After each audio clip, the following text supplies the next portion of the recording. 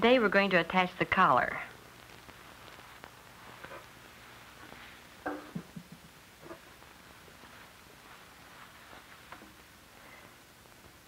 I have the shoulder seams joined, but not the underarm seams, so that the blouse can remain flat and easy to work on. The underside of the collar goes down on the right side of the blouse. Now, which is the wrong side or underside of the collar? You remember that we pressed the seam to the one side in order to keep it from showing. This demonstration collar will show that more clearly. So the side of the collar where the seam shows is the under collar. This demonstration collar also shows these layered edges. That appearance is to be expected because of the way we press the seams of the collar. Now you might find it difficult to uh, keep track of this print collar that was made to go with the dress, so I'll change to a solid color just to help the demonstration. Put the center backs together, matching these little nicks that we put in before we remove the pattern. Then when we have these matched, just lift the upper collar and pin the interfacing and the under collar to the garment. Next, match the notches and pin. And then bring the finished edge of the collar to the point indicated. Your pattern will tell you where that is, and you'll find that it's often at the center front as this one is, and that's already marked with basting. Hold this in place and then tack it there, for we want it to be held in exactly the right place.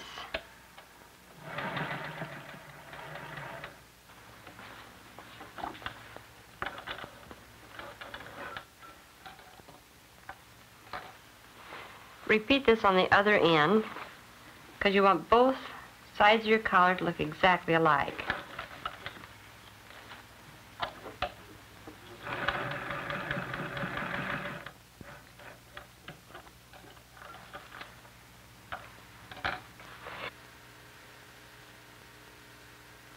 We're ready to join the rest of the collar to the neckline. And as you look at it here, it looks as if the collar is much too big for the neckline, but it will fit when we match seam line to seam line. And we'll do that by clipping the seam of the neckline at the neckline down to our stay stitching.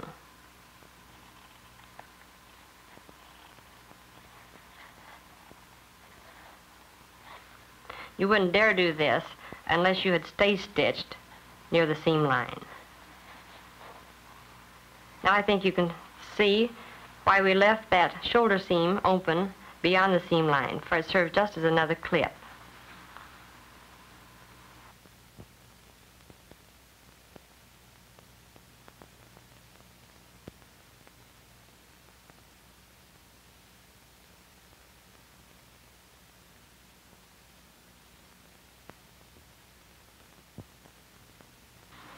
And now the neckline fits the collar. So we'll lift the top of the collar out of the way and match the seam to the interfacing and under collar. Be careful to keep all the edges together. Then we'll stitch from shoulder seam to shoulder seam across the back. And be sure you get the edges right up against the seam guide so that your stitching will be on the seam line.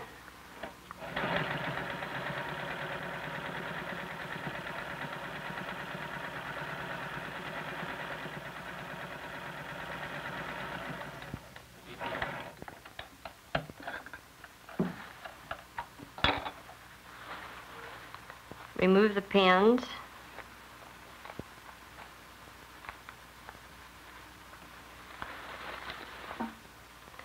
and then pin the rest of the collar down to the garment. And this time we'll pin the entire collar, including the upper collar.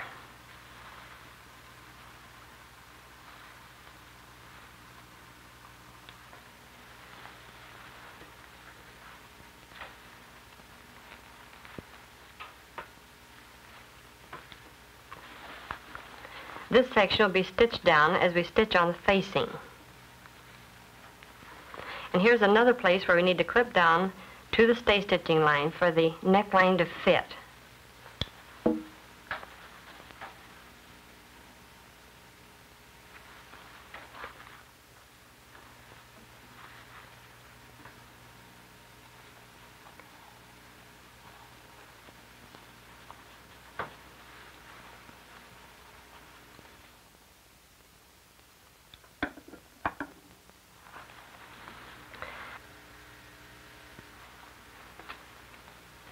Put the facing on the right side of the front of the blouse with the interfacing side up. Match the notches and pin enough times to keep the edges from slipping.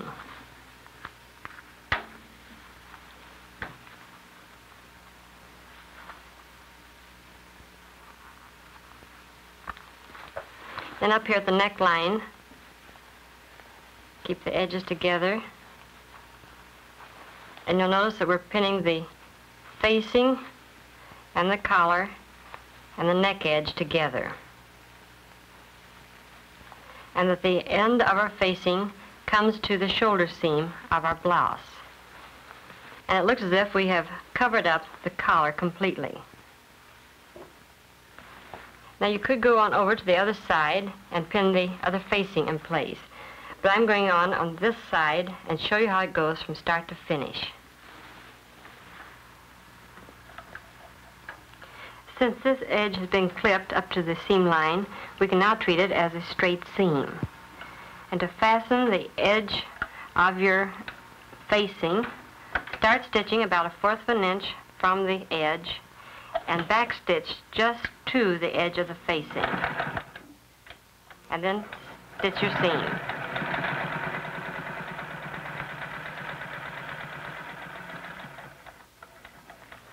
After I've finished the stitching and shown you something about trimming the seams, I'll exchange this blouse for one that has both the facings attached so that I can finish showing you about attaching the collar in this demonstration.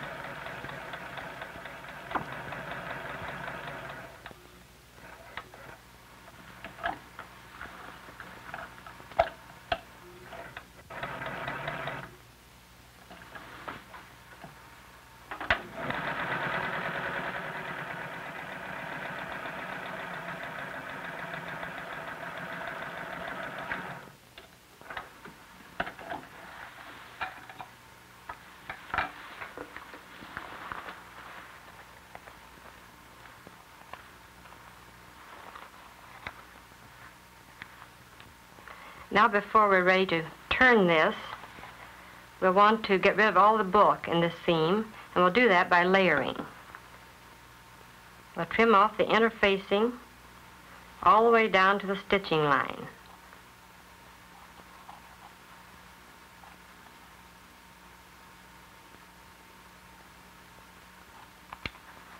And then trim these other layers off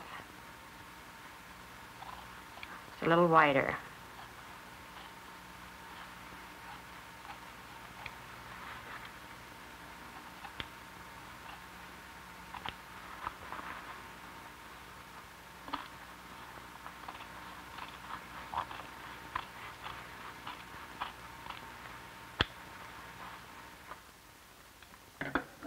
And you'll want to get the interfacing out. I cut it all the way down to the seam line, even when it's up inside of a seam like this.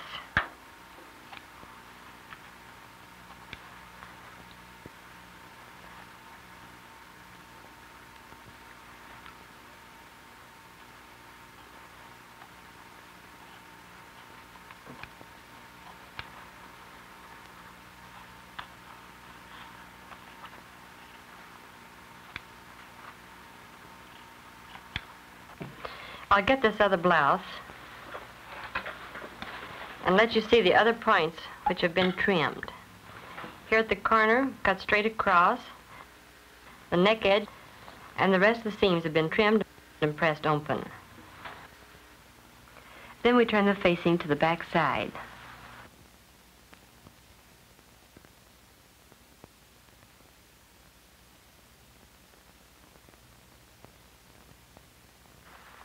When you have it turned, press it as you did your collar, rolling the seam slightly to the back side. This leaves only the back edge, which is still open. Clip at this point. Clip up to that last stitch right along the edge of the facing. And this is how we get rid of the bulk. Trim off all the seams about a fourth of an inch.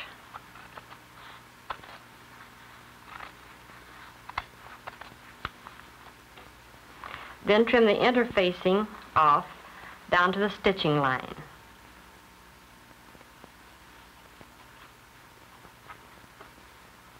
And then uh, all that's left, we'll press up and under.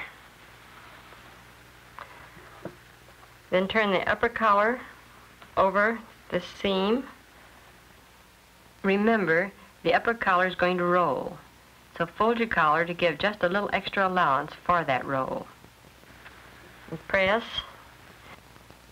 Then after you've either machine stitched or put this down by hand, your finished collar will look like this.